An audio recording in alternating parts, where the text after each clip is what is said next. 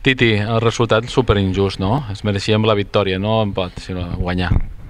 Jo diria que sí, ells tenen un equip, jo diria, juntament amb el Barça, els dos caps de sèrie de totes les competicions que puguin jugar, i nosaltres tenim un equip en procés de, de millora i en procés de, de créixer, no? Jo diria que avui s'ha vist un partit molt, molt bo, molt divertit per la gent que ha vingut, però jo diria que si algú es mereixia guanyar si algú es mereixia guanyar, jo diria un empat podria haver sigut just, però si algú es mereixia guanyar, jo diria per les ocasions clares, jo crec que avui era, ens tocava a nosaltres. L'afició ha vingut i ha apoyat l'equip 100%.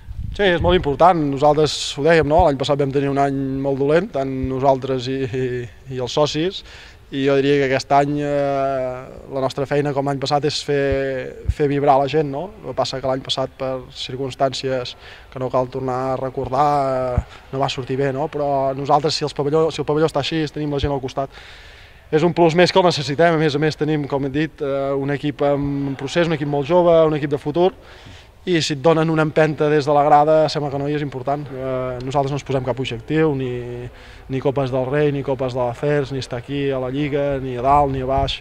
Nosaltres és continuar treballant cada dia, cada dia, i al final de temporada veurem on estem. Si la gent està contenta, siguem allà on siguem, és important.